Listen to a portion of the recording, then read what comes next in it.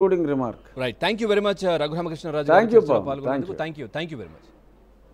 Right ఇక మా AP bureau chief Ramarao గారు కూడా లైవ్లో సిద్ధంగా ఉన్నారు. ఒకసారి ఈ నాలుగేళ్ళ పాలన జగన్మోహన్ రెడ్డి నాలుగేళ్ళ పాలన ఏ విధంగా ఉంది అనేది ప్రజలు కూడా చర్చించుకుంటున్న పరిస్థితి కనిపిస్తోంది. ఎక్కడ వేసిన గొంగరి?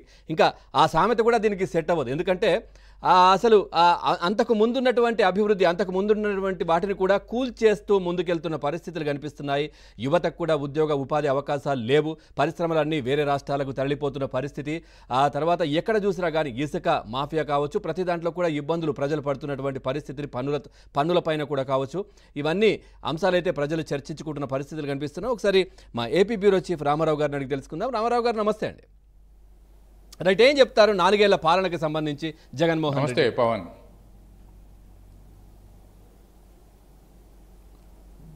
పవన్ జగన్ అధికారంలోకి వచ్చి నాలుగేళ్ళు ఈ రోజుతో పూర్తవుతుంది. ఈ నాలుగేళ్ళు కూడా నరకంలో ఉన్నాము అని అని చెప్పి ప్రతిపక్షాలు అంటున్నాయి. ప్రజల్లో కూడా ఆయా వర్గాలకు గతంలో ఏవైతే ఆయన ప్రజాప్రస్థానం పాదయాత్ర సందర్భంగా హామీలు ఇచ్చారో ఆ హామీలు కూడా అమలు చేయలేదని ఆయా వర్గాలు తీవ్ర అసంతృప్తి వ్యక్తం చేస్తున్నాయి. ఈ నేపథ్యంలోనే ఆయన పరిపాలన ఆయన పదవీ ప్రమాణ స్వీకారం చేసిన మరుక్ష మరుసటి రోజే కలెక్టర్లు ఎస్పీల సమావేశం ఏర్పాటు చేశారు.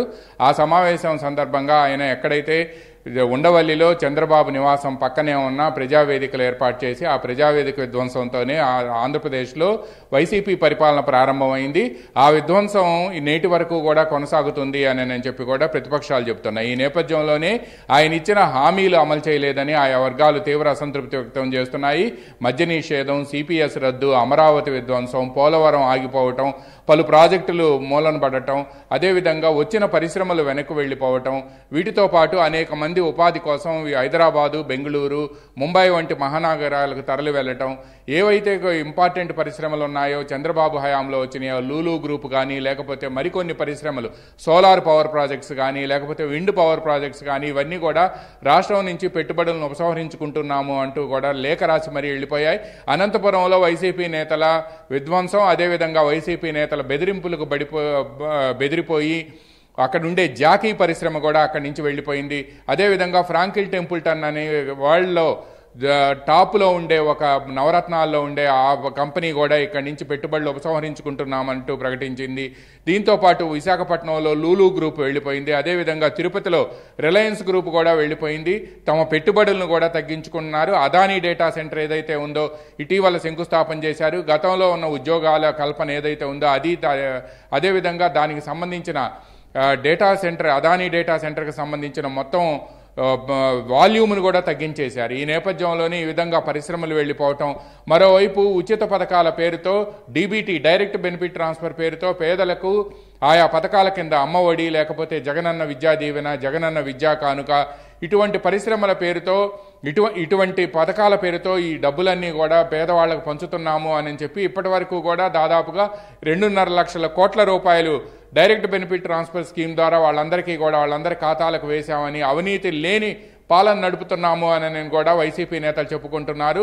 కానీ గతంలో గత మూడు సార్లు కూడా రెండు వేల పంతొమ్మిది తర్వాత రెండు వేల ఇరవై ఇరవై ఒకటి ఇరవై రెండు ఈ మూడు సంవత్సరాలు కూడా వైసీపీకి సంబంధించి మూడు సంవత్సరాలు పూర్తి అధికారంలోకి వచ్చి మూడు సంవత్సరాలు పూర్తవుతున్న సందర్భంగా ఘనంగా వేడుకలు నిర్వహించిన ఈ నాలుగో సంవత్సరం మాత్రం ఎందుకో నేతల్లో నిరుత్సాహం కనిపిస్తుంది. ప్రధానంగా వైసీపీ కేంద్ర కార్యాలయంలో అక్కడ కేక్ కట్ చేయటం మినహా రాష్ట్రంలో మిగతా ప్రాంతాల్లో మాత్రం వేడుకల ఉత్సాహం కానీ లేకపోతే నాలుగు సంవత్సరాలైంది అధికారంలోకి వచ్చాం ఇవి సాధించామని చెప్పుకునే పరిస్థితి కానీ నేతల్లో ఎక్కడా కనిపించలేదు.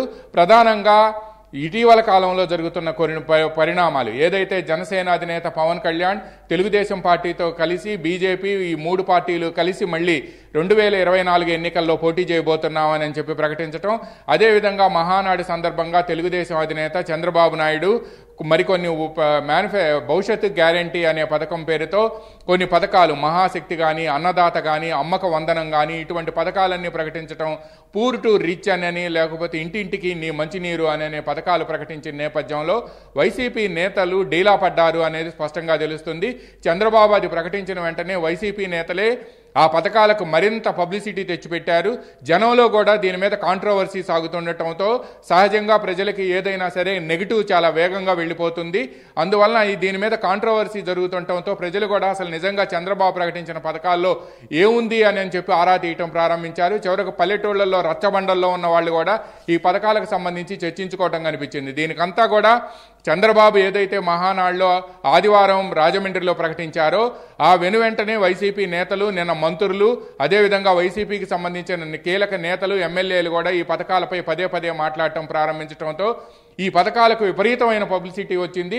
నిజంగా ఈ పథకాలు అమలు జరిగితే మాత్రం వైసీపీ అడ్రస్ గల్లంతో అని చెప్పి కూడా ఆ పార్టీకి సంబంధించిన నేతలే భావిస్తున్నారు. అయితే ఈ నాలుగు సంవత్సరాల పాలన నేపథ్యంలో ఇటీవల జరిగిన ఈ రెండు పరిణామాల నేపథ్యంలోనే ఈ వేడుకలు కూడా అంత ఘనంగా నిర్వహించలేకపోతున్నారు అనేది కూడా మనకు స్పష్టంగా అర్థమవుతుంది.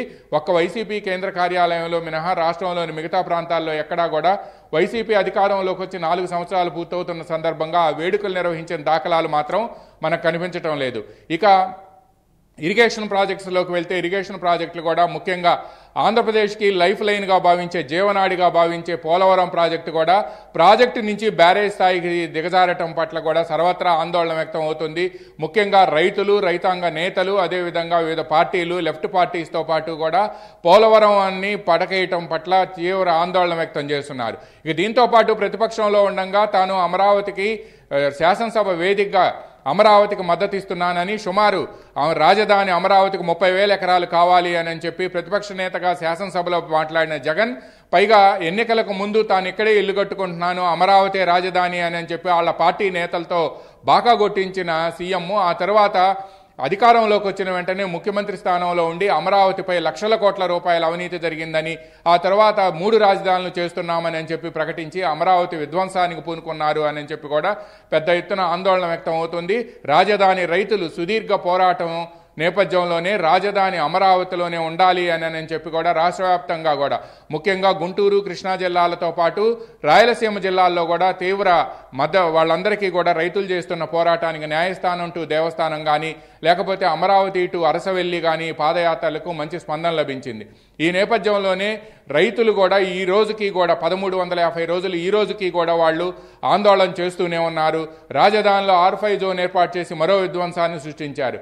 ఇక పోలవరం ప్రాజెక్టుతో పాటు అమరావతితో పాటు రాష్ట్రంలో రహదారుల పరిస్థితి అధ్వానంగా ఉంది అని చెప్పి ప్రజల నుంచి తీవ్ర ఆందోళన వ్యక్తం అవుతుంది. ఇక పన్ను పోటు విద్యుత్ ఛార్జీలు చెత్త పన్ను అదేవిధంగా విలువ ఆధారిత ఆస్తి పన్ను దీంతో పాటు పలు రకాల పన్నులు రిజిస్ట్రేషన్ ఛార్జీల పెంపు దీంతో పాటు ఇంకా మరికొన్ని ప- ఛార్జ్ పన్నుల పేరిట పెద్ద ఎత్తున డబ్బులు వసూలు చేస్తున్నారని విద్యుత్ ఛార్జీలు ఇప్పటికే నాలుగు సార్లు వసూలు చే నాలుగు సార్లు పెంచారు అనని అదేవిధంగా లిక్కర్ గతంలో మల్టీనేషనల్ కంపెనీల బ్రాండ్స్ లిక్కర్ షాపుల్లో ఉండేవి. ఇప్పుడు మొత్తం రాష్ట్రంలో తయారు చేసే బూమ్ బూము జూము ఇటువంటి పేర్లతో మన నకిలీ మద్యం తయారు చేస్తున్నారని దీనివల్ల ప్రజల ఆరోగ్యం చెడిపోతుందని కూడా పెద్ద ఎత్తున ఆందోళన వ్యక్తం అవటమే కాకుండా. గతంలో క్వార్టర్ బాటిల్ నలభై రూపాయలకు దొరికితే ఇదే ఇదే ఇదే క్వార్టర్ బాటిల్ ఈ రోజు నూట ఇరవై రూపాయలకు దొరుకుతుంది అని కూడా మందుబాబులు ఆగ్రహం వ్యక్తం చేస్తున్నారు రాష్ట్రం మొత్తం కూడా ఈ నాలుగేళ్ళ పరి పరిస్థితిని పరిశీలిస్తే మాత్రం సమీక్షిస్తే మాత్రం ఈ నాలుగేళ్ళు కూడా నరకంలో ఉన్నాము అని అని చెప్పి ప్రతిపక్షాలు చెబుతూ ఉన్నాయి ఇక అక్రమ కేసులు విధ్వంసాలు తర్వాత అరెస్టులు తర్వాత అకారణంగా కేసులు బనాయించటం టార్చర్లు థర్డ్ డిగ్రీ వ్యవహారాలు ఇవన్నీ కూడా రాష్ట్రంలో యథేచ్ఛగా జరిగిపోతున్నాయి. దీనికి తోడు జీవో నెంబర్ వన్ని హైకోర్టు కొట్టివేసింది కానీ ప్రతిపక్షాలపై జీవో నెంబర్ వన్ ద్వారా కూడా అణిచివేత ప్రారంభించారు. ఈ నేపథ్యంలోనే ఈ మొత్తం నాలుగేళ్ళు కూడా నరకంగా సాగింది అని చెప్పి ఆంధ్రప్రదేశ్లో ప్రతిపక్షాలతో పాటు ప్రజా సంఘాలు పలువురు ప్రజాప్రతినిధులు కూడా ఆగ్రహం వ్యక్తం చేస్తున్నారు. Pawan. Right thank you very much Ramarao garu. Thanks for the updates ఇక ఇదే అంశం